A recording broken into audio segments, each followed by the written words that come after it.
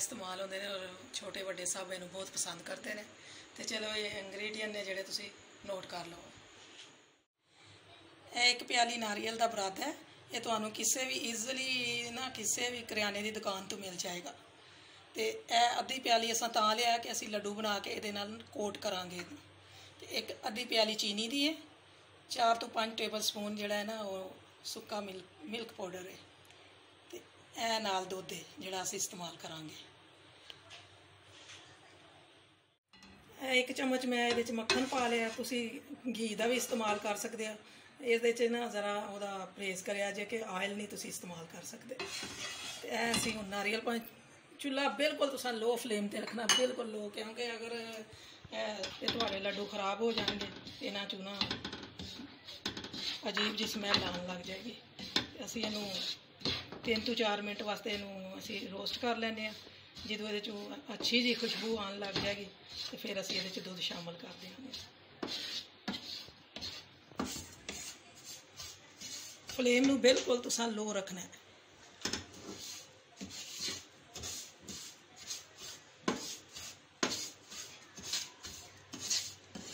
ਲਗਾਤਾਰ ਇਹਨੂੰ ਚਲਾਉਂਦੇ ਆ ਰਹਿਣਾ ਹੈ।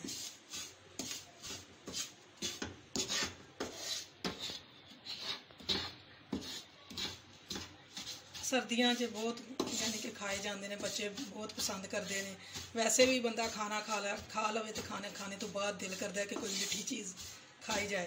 ਤੇ ਇਹਨੂੰ ਤੁਸੀਂ 에ਅਰ ਟਾਈਟ ਕੰਟੇਨਰ 'ਚ ਪਾ ਕੇ ਵੀ ਤੁਸੀਂ ਰੱਖ ਸਕਦੇ ਹੋ। ਜਦੋਂ ਦਿਲ ਕਰੇ ਤੇ ਖਾ ਵੀ ਸਕਦੇ ਹੋ। ਸਰਦੀਆਂ ਦਾ ਤੋਹਫਾ ਹੈ।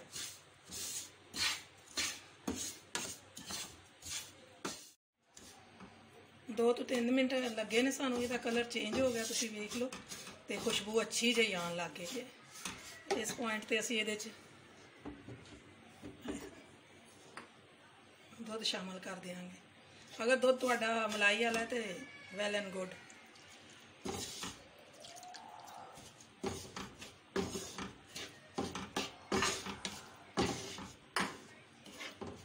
ਹੁਣ ਦੋ ਤੋਂ 3 ਮਿੰਟ ਅਸੀਂ ਇਹਨੂੰ ਮਜ਼ੀਦ ਇਹਨੂੰ ਭੁੰਨਾਂਗੇ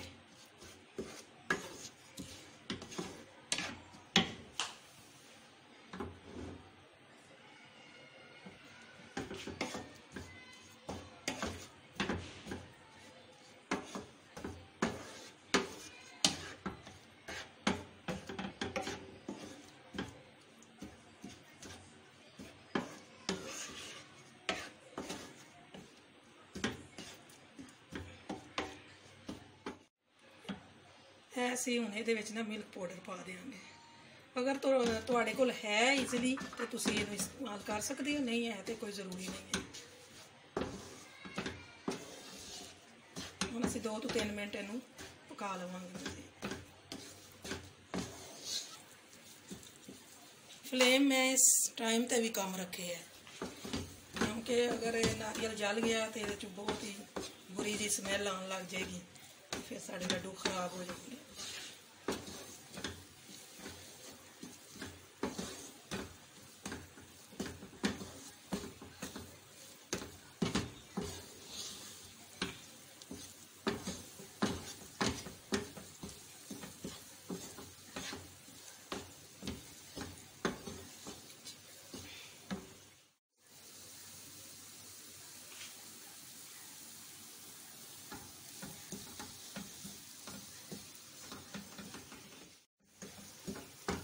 ਇਹ ਦੇਖੋ, ਇਹ ਸਾਡਾ ਤਿਆਰ ਹੋ ਚੁੱਕਿਆ ਹੈ ਮੇਜ਼ਾ ਤੇ ਹੁਣ ਅਸੀਂ ਇਹਦੇ ਚ ਚੀਨੀ ਸ਼ਾਮਲ ਕਰਾਂਗੇ ਅੱਧੀ ਪਿਆਲੀ।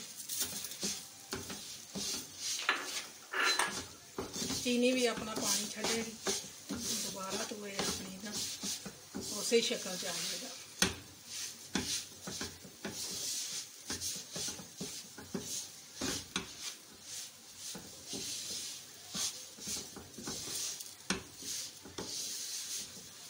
कितनी अच्छी खुशबू आ रही है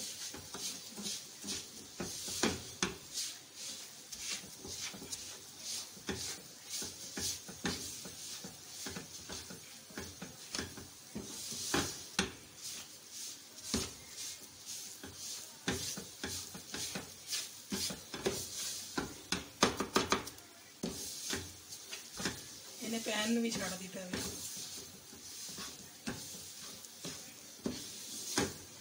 ਪੈਨ ਸਾਡਾ ਬਿਲਕੁਲ ਸਾਫ਼ ਹੋ ਗਿਆ ਇਹਦਾ ਮਤਲਬ ਇਹ ਤਿਆਰ ਹੋ ਗਿਆ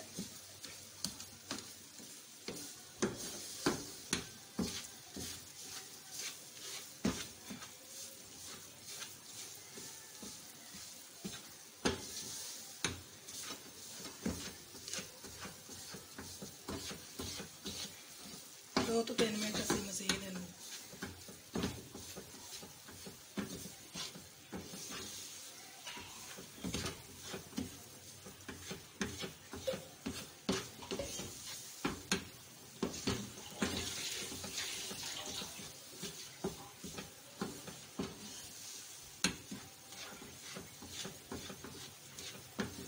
ਚੀਨੀ ਨਾਲ ਵੇਖ ਲਓ, ਫਿਰ ਜ਼ਰਾ ਇਹਨੇ ਨਾ ਚੀਨੀ ਨੇ ਪਾਣੀ ਛੱਡ ਦਿੱਤਾ ਤੇ ਪਤਲਾ ਹੋ ਗਿਆ।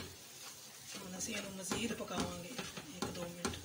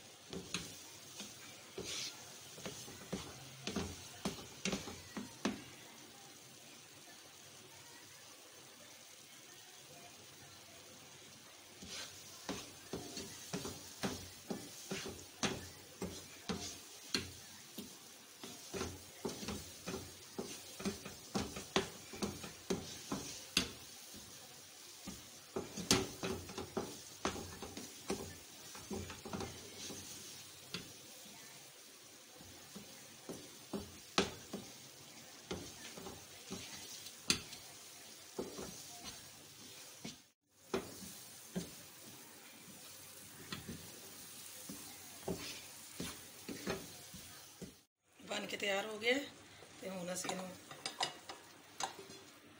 ਬੋਲ 'ਚ ਕੱਢ ਲਵਾਂਗੇ ਤੇ ਹੁਣ ਅਸੀਂ ਇਹਨੂੰ ਠੰਡਾ ਹੋਣ ਦਿਆਂਗੇ ਥੋੜੀ ਦੇਰ 'ਚ। ਠੰਡਾ ਹੋ ਜਾਏਗਾ ਤਾਂ ਫਿਰ ਅਸੀਂ ਲੱਡੂ ਬਣਾਵਾਂਗੇ। ਇਹ ਵੇਖੋ, ਸਾਡਾ ਇਹ ਠੰਡਾ ਹੋ ਗਿਆ ਮੇਜ਼ਾ ਤੇ ਇਹਨਾਂ ਨੂੰ- ਇਹਨੂੰ ਮੈਂ ਦੋਵਾਂ ਹਿੱਸਿਆਂ 'ਚ ਡਿਵਾਈਡ ਕਰ ਦਿੱਤਾ ਇਹਦੇ 'ਚ ਮੈਂ ਕਲਰ ਪਾ ਲਿਆ ਫੂਡ ਕਲਰ ਇੱਕ ਪਿੰਚ ਬਸ ਪਾਇਆ। ਅਗਰ ਤੁਹਾਡਾ ਦਿਲ ਕਰਦਾ ਤੁਸੀਂ ਪਾ ਲਓ, ਨਹੀਂ ਤੇ ਤੁਸੀਂ ਸਫੇਦ ਵੀ ਬਣਾ ਸਕਦੇ ਹੋ ਲੱਡੂ ਤੇ ਚਲੋ ਹੁਣ ਅਸੀਂ ਲੱਡੂ ਬਣਾਉਣਾ ਸ਼ੁਰੂ ਕਰਨੇ ਆ।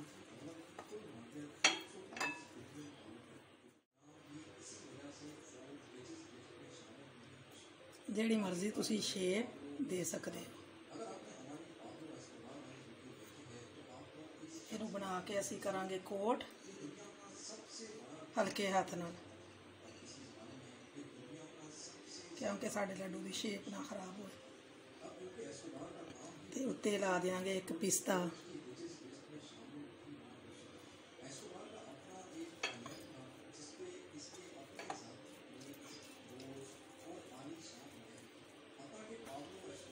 ਜਿਹੜੀ ਮਰਜ਼ੀ ਤੁਸੀਂ ਸ਼ੇਪ ਦੇ ਸਕਦੇ ਹੋ, ਚਾਹੇ ਤੇ ਤੁਸੀਂ ਗੋਲ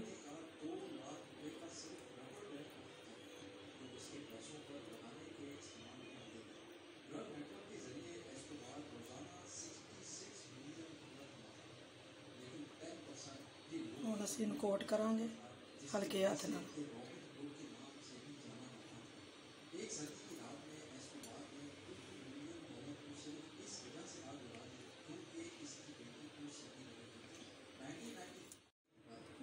ਦੋ ਮੈਂ ਕਲਰ ਵਾਲੇ ਬਣਾ ਲਏ ਨੇ, ਤੇ ਇਹ ਇੱਕ ਸਫੇਦ ਬਣਾ ਲਿਆ। ਹੁਣ ਤੁਹਾਨੂੰ ਮੈਂ ਸਾਰੇ ਬਣਾ ਕੇ ਤੇ ਫੇਰ ਵਿਖਾਉਂਦੀ ਹਾਂ। ਇਹ ਤੁਸੀਂ ਦੇਖ ਸਕਦੇ ਹੋ, ਬਣ ਕੇ ਤਿਆਰ ਹੋ ਗਏ ਨੇ, ਤੇ ਮਾਸ਼ਾਅੱਲਾ ਬਹੁਤ ਹੀ ਪਿਆਰੇ ਬਣੇ ਨੇ। ਤੇ ਅਗਰ ਤੁਸੀਂ ਹੁਣ ਖਾਣਾ ਚਾਹੁੰਦੇ ਹੋ ਤੇ ਖਾ ਸਕਦੇ ਹੋ, ਨਹੀਂ ਤੇ ਥੋੜੀ ਦੇਰ ਫ੍ਰਿਜ 'ਚ ਰੱਖ ਦਿਓ ਤੇ ਜ਼ਿਆਦਾ ਟੇਸਟੀ ਲੱਗਣਗੇ। ਅਗਰ ਮੇਰੀ ਵੀਡੀਓ ਪਸੰਦ ਆਏ, ਇਹਨੂੰ ਲਾਈਕ ਕਰੋ ਸ਼ੇਅਰ ਕਰੋ ਸਬਸਕ੍ਰਾਈਬ ਕਰੋ ਤੇ ਦੁਆਵਾਂ 'ਚ ਮੈਨੂੰ ਯਾਦ ਰੱਖਿਆ ਜੇ। ਫੇਰ ਮਿਲਾਂਗੇ ਇੱਕ ਨਈ ਰੈਸਪੀ ਦੇ ਨਾਲ। ਅੱਲਾ ਹਾਫਿਜ਼।